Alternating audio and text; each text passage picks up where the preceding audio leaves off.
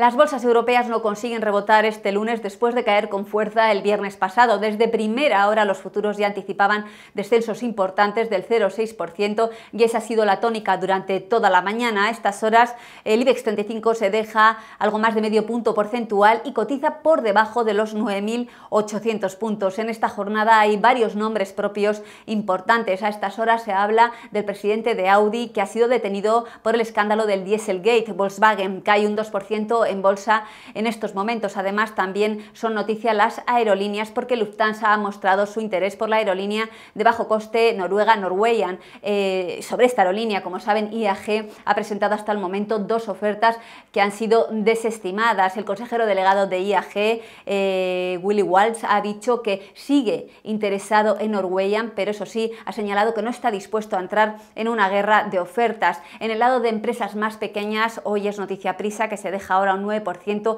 después de que haya fracasado la venta de Media Capital a Altice. También es noticia Pescanova que cede un 22% y aumenta los descensos fuertes que se vieron el viernes pasado.